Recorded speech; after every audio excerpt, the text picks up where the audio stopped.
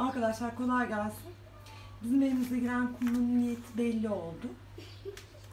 Mutfakta kombinin üstüne mini gülmesene.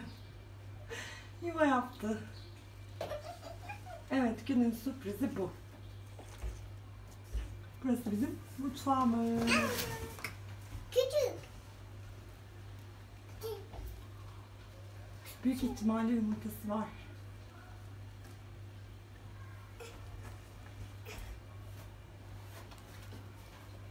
Bir sürü o şey işte. Ee, ne diyeyim? Misafir. Yapacak bir şey yok. Evet burada kuş. Evet Ama orada bak. hareket etmiyor. Hocam benim canım bana. Niye bu hareket etmiyor ki? Bakalım yavrusu ne zaman çıkacak.